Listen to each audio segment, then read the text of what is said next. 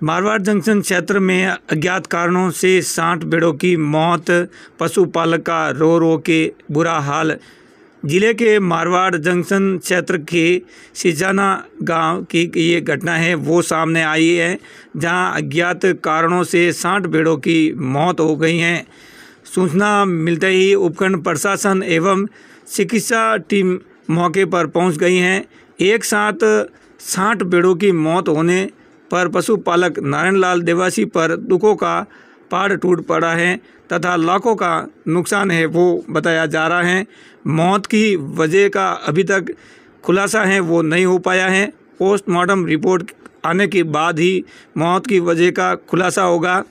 प्रारंभिक जाँच में भीषण गर्मी से मौत की आशंका है, वो जताई जा रही हैं। सूचना पर पाली से पशुपालन विभाग टीम पहुँच रही है। सिंचाना